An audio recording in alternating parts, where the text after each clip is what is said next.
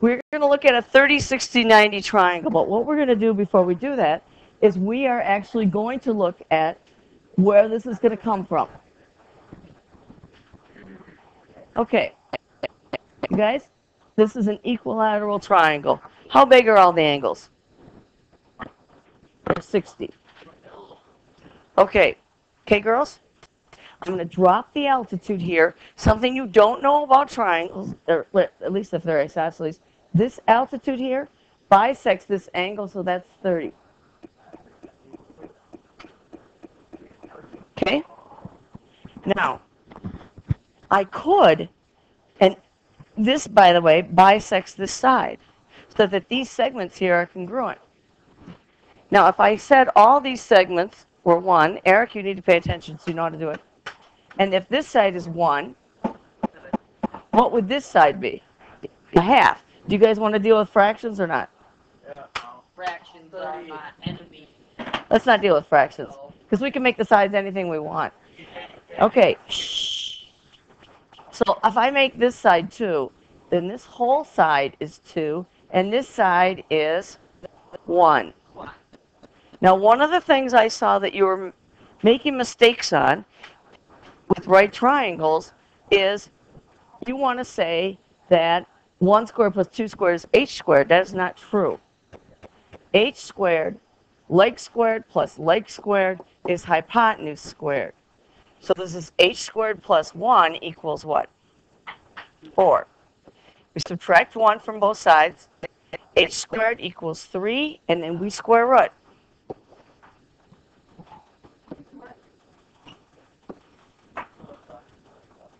Just showing where the numbers are coming from. Okay, TJ, you're going to get really confused in this if you don't pay attention. Now, it's just Pythagorean theorem. There's my work. I can make any multiple. I could take a triangle tiny or bigger than that. The ratios of these sides are always the same. This is 2x, this is 1x, and this is x times the square root of 3. You're not going to know how to do this. Okay? Now, how do you decide which side is x squared root of 3 and which side is x? And 45, 45, 90, the legs are the same. No big deal. What I do here is I find the 30 degree angle and I go across to the opposite leg. And if you know that you have a triangle, a right triangle, and this is 2 and this is 4, I know I have a 30, 60, 90 triangle. You can use Pythagorean's theorem to find that piece, but why? I already know what the answer is 2 squared root of 3. So let's go back into the notes, fill that out, and try some problems. Okay. Now, we talk about the shorter leg. The shorter leg is opposite the 30 degree angle. So this is going to be 2x. Actually, they called it a. This is going to be x, and this is x squared root of 3. So if you look at this diagram, the longer leg, the short leg has a. This is a square root of 3, and this is 2a. Now, we want to make equations. We want to label the triangle. Some of you weren't willing to do that on the 45, 45, 90s. But you really do need to do that.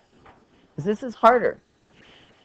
I find the 30 degree angle and the side opposite is the x.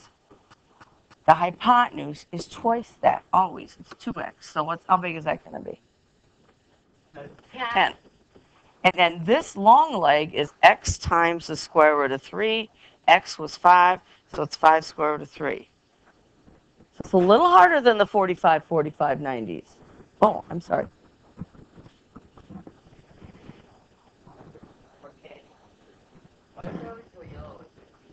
This is the cable. Okay. Let's try this one. Well, the hypotenuse is always 2a or 2x. I like x's better myself. That's always the case when you do 30, 60, 90s. Well, then I go find the 30 degree angle. The side opposite the 30 is the x. Then the other one is x times the square root of 3.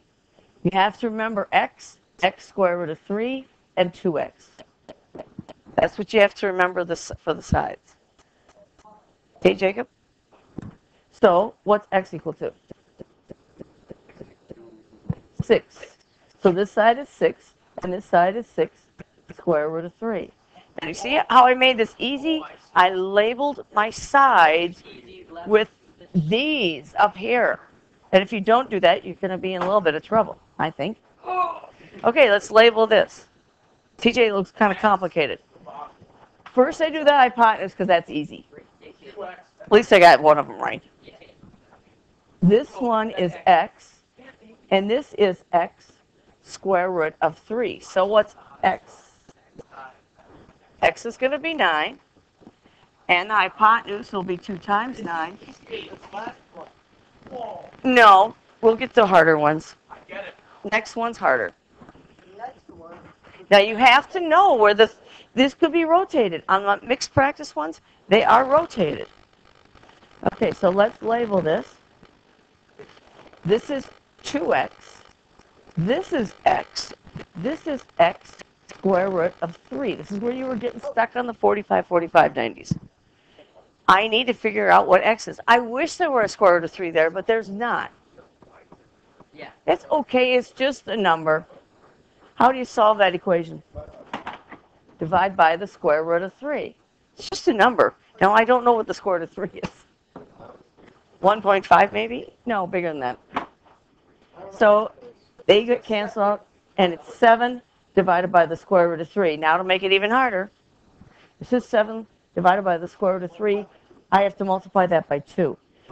I'm going to do slowly. 2x is 2 times 7 over the square root of 3. Okay, to multiply fractions, you do the top numbers, which is 14, and the bottom numbers, which is square root of 3. It's a weird looking number. And no, you didn't do this in fifth grade. You didn't do square roots then. Okay? But the equations you've been solving, it just bothers you that that's the square root of 3. But it's just a number. I don't care what the number is. Now we have an application problem. I want to find the area. There is a formula for area of these things, but I don't know what it is. I, well, I do. That's not true. This is 36. This is 36. And this is 36. PJ, what's the formula for the area of a triangle so I know what to do? Uh, it's, uh, something- One half base times height. Okay, what's what's the base here? Yeah, but I have to know what the height is.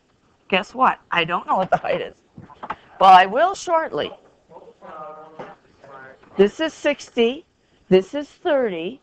How big is that, Zach? Zach? How big is this side?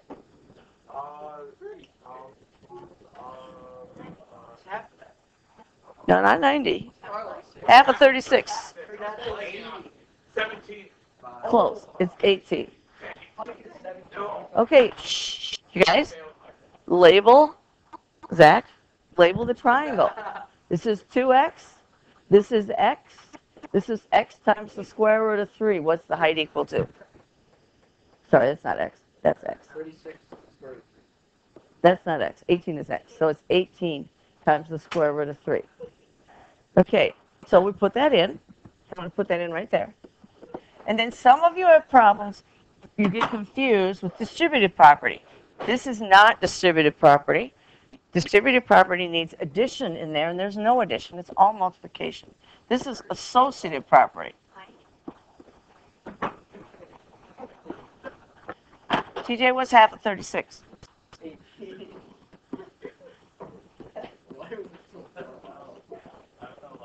I guess I'm going to have to come up with a seating chart. Now, do you guys know what 18 times 18 is? Besides me. Let's see, one. What's 20 squared? 324. Yeah. Rockin' all. Okay? Zach, up here. Well, you know, you made the choice. Keep making the choice. Okay. Oh, did I find? Yeah, I found the area. Find the perimeter of this, and it says the height is 7 times the square root of 3. Okay. How am I going to label the sides? Jacob? What's this side? 2x. This side is 30, 60, so this is x. And this is x square root of 3. That's what you want to do. What's x? Yeah, it's permanent. X is 7, right? Is that right? Jacob, is, is that right? Is it 7? You need to pay attention. Then what's this side? 14. I want the perimeter. How many, how many 14s do I need? No, well, it's a perimeter, it's equilateral. How many 14s? Three. You guys know what 3 times 14 is? 42. I want No,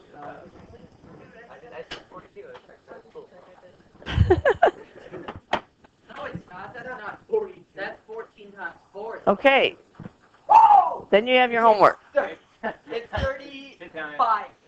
It's thirty-five. It's forty-two. Okay, next thing. Shh. Think about it. It's thirty plus No, you're right, you're right. Okay, you guys, you had, guys, shh, you had a worksheet on radicals. Do you have questions for me on that?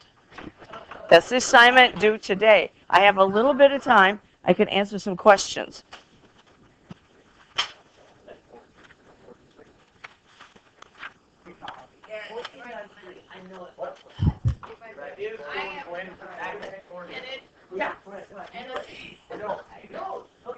Okay, you guys?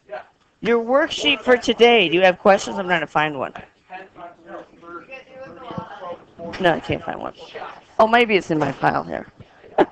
So I have to sit up here. Yes. No. No. So we got more homework now. Yes. But you have time in class to work on it. Homework is on. Yeah. I like it. Oh,